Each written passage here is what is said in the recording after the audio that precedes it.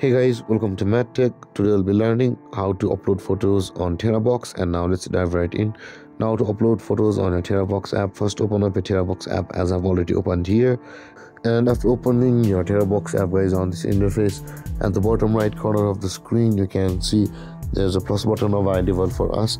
Tap on the plus button at the bottom right corner of the screen land over here where you can either take a photo and upload it to your TeraBox app by tapping on the take a photo and upload at the bottom of the screen.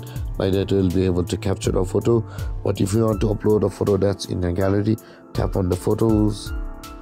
And you land over here where you can access your gallery and you'll be able to upload photos from over here whichever may it be. So that being said guys let's tap on some photos which you want to upload and let's tap on the upload button at the bottom right corner of the screen. And by that way guys the photos will be uploaded to your TeraBox account or your TeraBox app. And let's tap on the photos and all of your photos which you had uploaded will be momentarily over here after it has been uploaded.